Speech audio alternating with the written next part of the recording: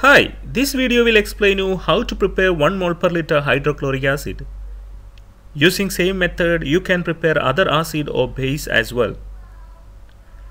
To handle corrosive chemicals, it is mandatory to wear proper personal protective equipments like protective clothing, eye and face protection equipment, respiratory protection, gloves and protective footwear.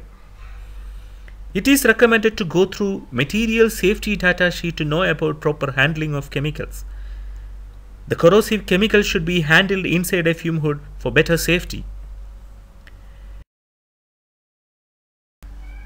The commercially available hydrochloric acid comes with a label.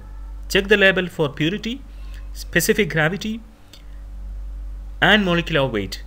The molarity of concentrated hydrochloric acid can be calculated with an equation purity multiplied by 10 multiplied by specific gravity divided by molecular weight. In this case, it is 12 mole per liter.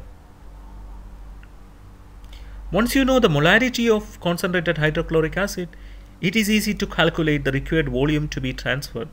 Using an equation M1 V1 is equal to M2 V2. Here V1 is the volume of the required solution M1 is the concentration of required solution that is 1 mole per liter.